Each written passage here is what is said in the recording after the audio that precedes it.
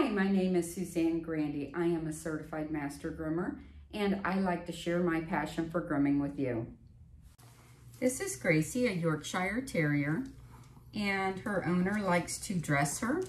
And since her hair has been getting longer, it's getting caught up in the dresses. So we're going to take her body a little bit shorter. She is one of those Yorkies whose hair flips up in the pants area here, and when you trim it, it looks terrible. So I'm gonna keep that area longer. Her owner is not a fan of the fusion style trims where it's real tight on the body with the flared out legs. So we're going to give her a trim that hopefully will be the right balance for all of her needs. So to do that, I'm just going to comb her hair without a part and its natural growth pattern. Keep it laying down, not back combing it at all. And I'm going to use a Oster yellow snap-on comb. This is a 5 8 inch and see how this goes. See if it takes off the right amount of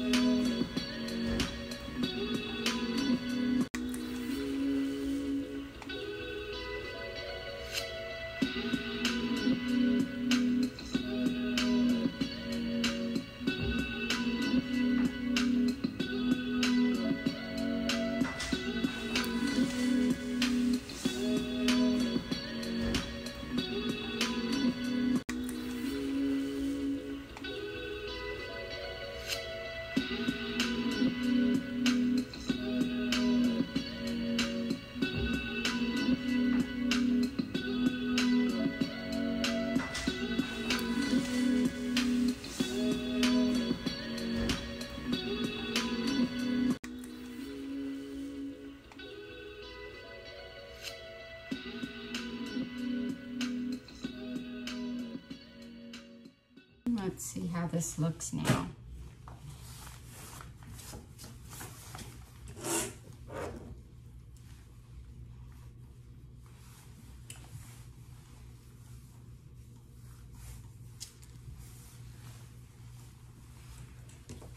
Turn.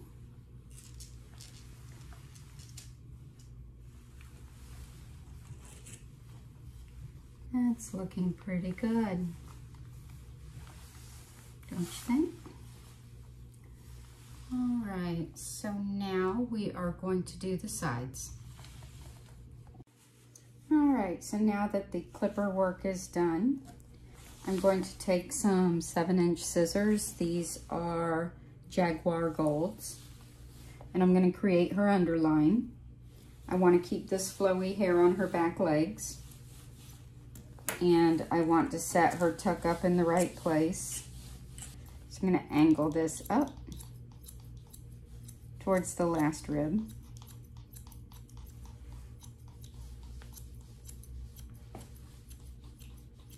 I never pick up the leg to trim a Yorkie's front leg under here. I always keep the leg down and in place, otherwise you'll end up with a problem with coloring. I would demonstrate it for you, but I don't want to mess it up.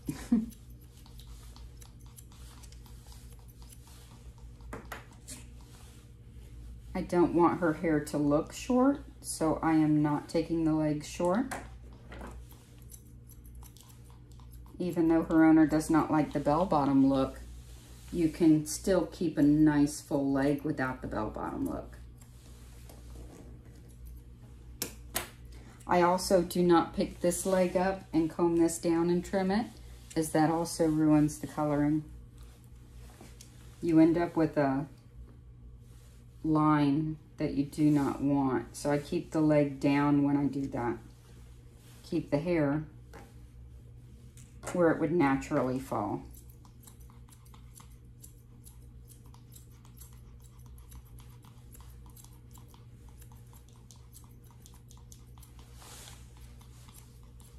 Good girl.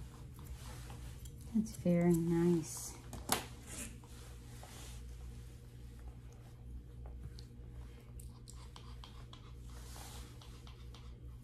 Biggest thing to remember in trimming Yorkies is keeping your transition of colors flowing naturally.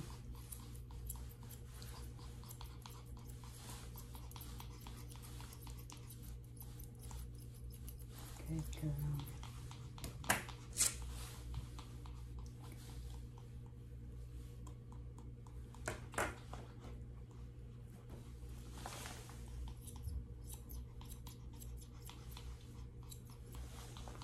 Okay, let's turn this way. Good girl. It's okay. I gotcha.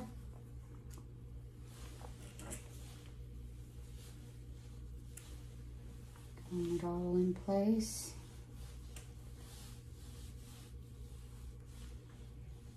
See, here's some lines from the snap-on comb that I have to fix. Okay, come here. He's a good girl. Stay. Stay. Girl. Can I kisses? Thank you.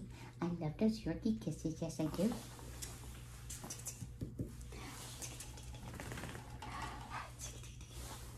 Okay, back to work.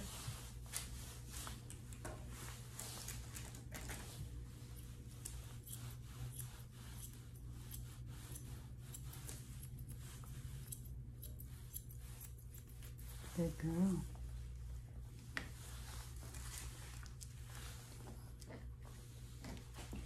So when I lift up this leg, I can see the hair that I need to snip up under here, but I don't do it from the same side. I do it from the opposite side.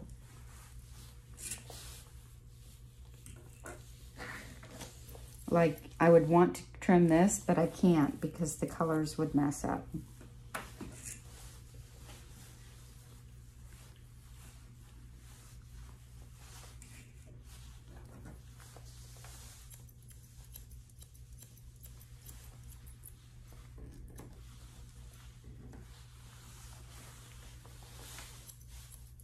Good girl. All right.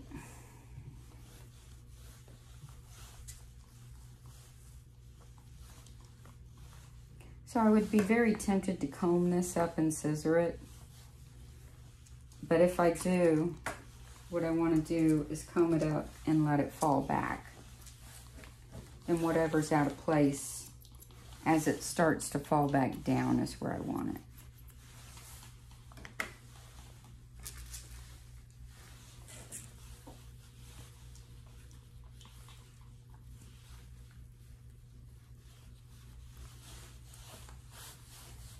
Same with back here. I don't want to get carried away in cutting any of the silver hair. I want to push all that forward and just cut the tan. Uh -uh.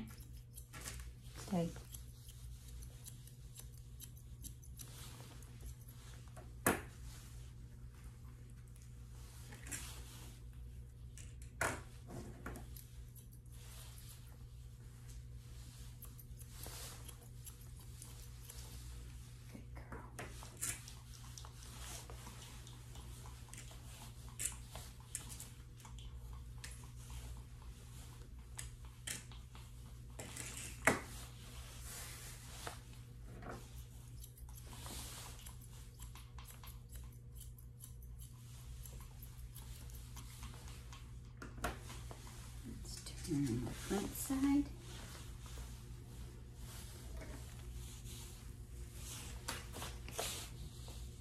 Now this part I can comb up and I can trim both colors evenly around. But this that falls here, I want to comb it back down where it goes. And then if any gets trimmed, going to be from the inside. Good girl. Good girl. Now I'm going to use my thinning shears.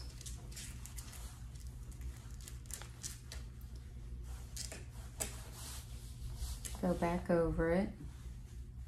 What I'm going to do now is I'm going to use my comb, pull the hair up, use my thinning shears and snip it off.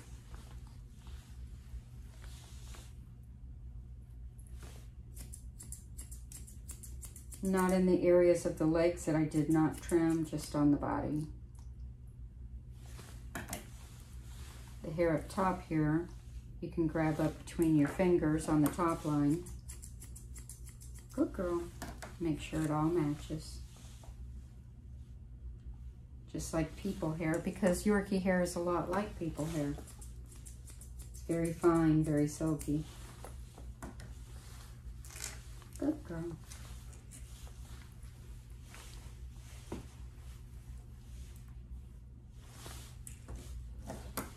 Still staying away from those hips. I can do the top line between my fingers. And the sides, keep the hip hair. Pull the sides up. Snip off the top. It's kind of like feathering with a person's hair. So I'm feathering it down. And when it comes down, the hope is, is to have it smoother looking.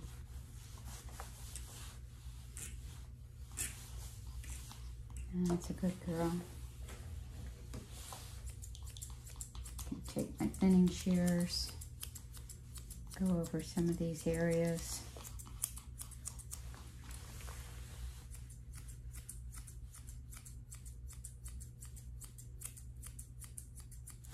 Girl. Yes. So.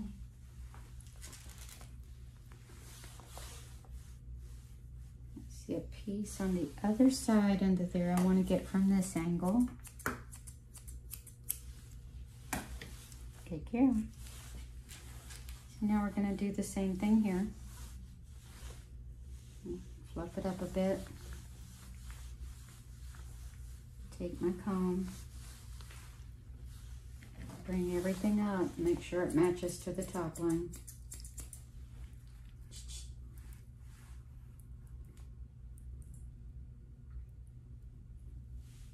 Stay away from the hips.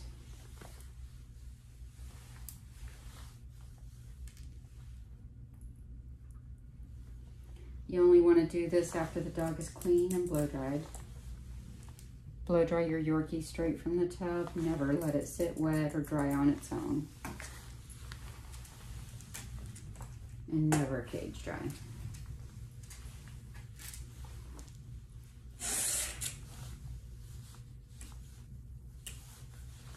So I can see an area here that needs help. So I'm going to bring just that area up. Do a little thinning on it. Let it fall. That's better.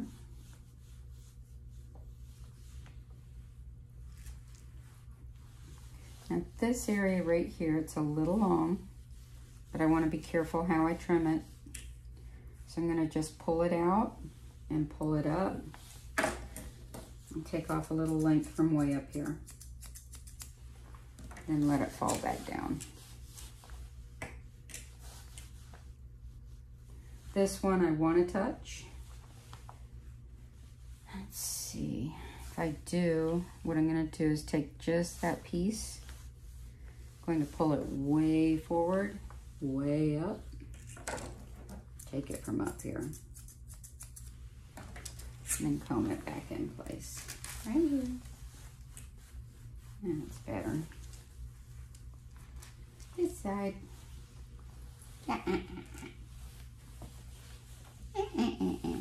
Got the cutest little face. Okay, so see this fluffy hair right here? I want to get rid of that. Bring it up and forward. And just this little bit here is what I'm taking to make the biggest difference. Comb it back down and in place. This little piece here. Comb it up and forward. You can see the light fluffy there. Take that. Drop it back down. And it's laying better. Now at this point, I can see if there's anything left up under here that I can get without messing it up.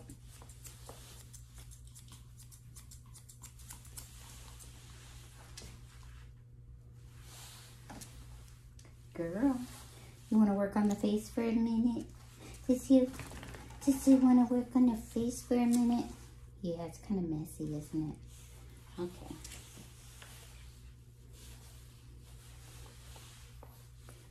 So I'm really liking her face about the length it is.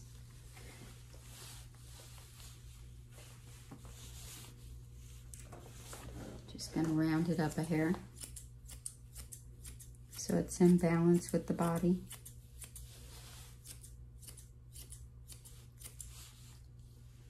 These are V3 thinning shears, Masuta, yeah.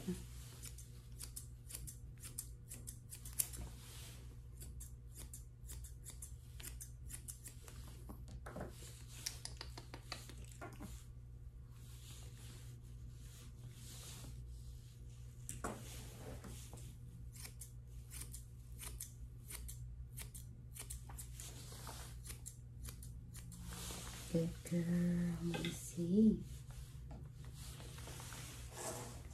This is a Chris Christensen face comb. It's five inches long. It's very nice for these little areas around the face.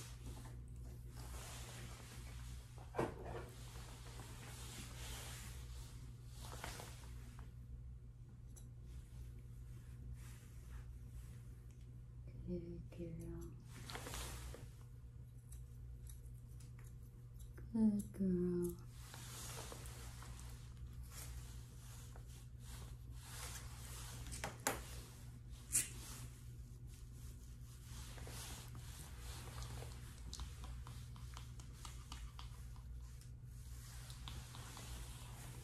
And then you can just look at it from different angles.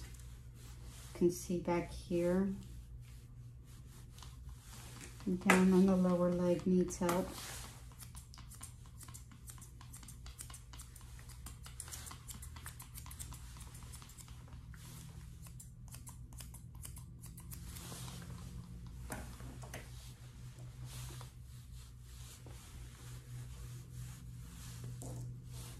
Stay.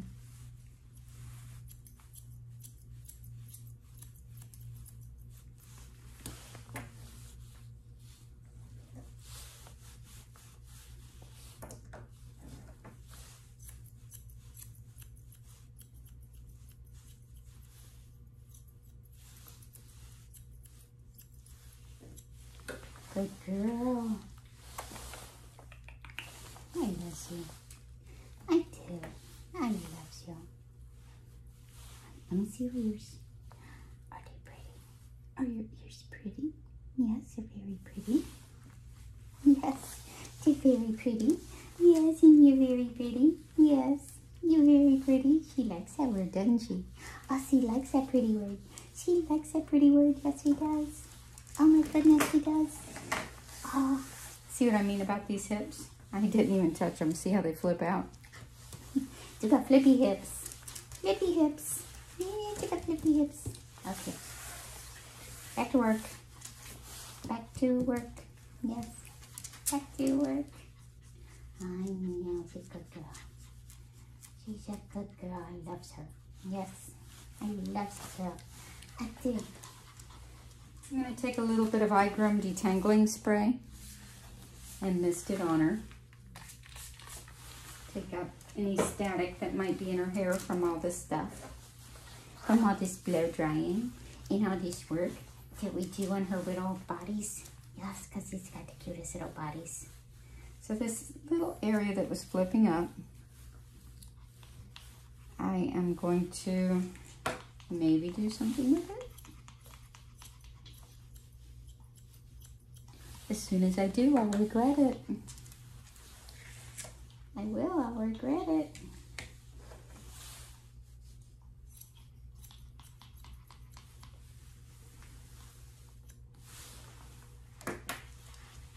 Now let's see how it looks. Is it better? Is it better? Okay, let's do this side. Boop. Boop.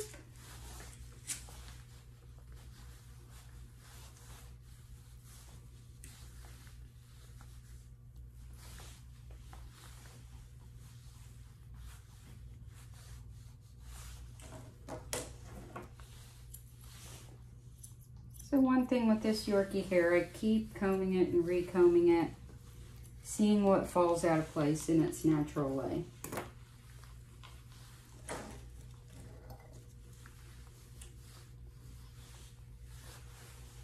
Let me see. You need a little shape here. Yes, you do.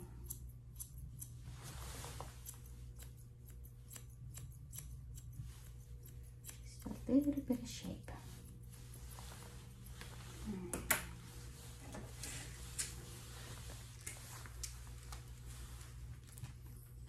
What to do with those Yorkie tails? Some people like them long, some people like them short, some people like a little curly cue, some people like it like a short terrier tail. All kinds of ideas. For me, I typically blend it about the length of the body. So if the top of the back is very short, unless it's a fusion style trim, I will leave it very short. Like if it's a Westie style. If it's a fusion style with the very flowy legs, I'll leave it long and flowy like a ponytail. If it's a trim like this, it's basically the same length as the body. If it's a long coat, the tail stays very long.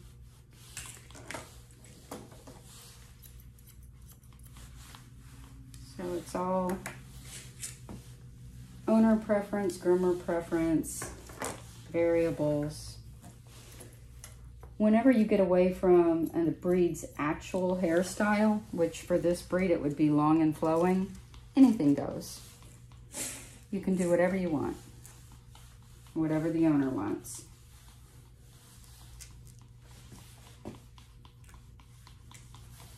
So for my grooming in my store, this is a 5 8 long puppy trim with a medium length beard and a tassel top top knot. What I mean by tassel top is she does not have a long flowing top knot. It looks like a little tassel, like a palm tree. And that way when it's up in a bow, it doesn't fall over in her face. I usually keep it trimmed just enough so you can still see the bow clearly. And, you know, she's neither too long or too short. And this is a very popular hairstyle. So thank you for watching. Say goodbye. Thanks for watching. We can't wait to see you again next time. Be sure to check out askagroomer.com and like Ask a Groomer on Facebook. Click that subscribe button and tap the notification bell so that you don't miss a single video.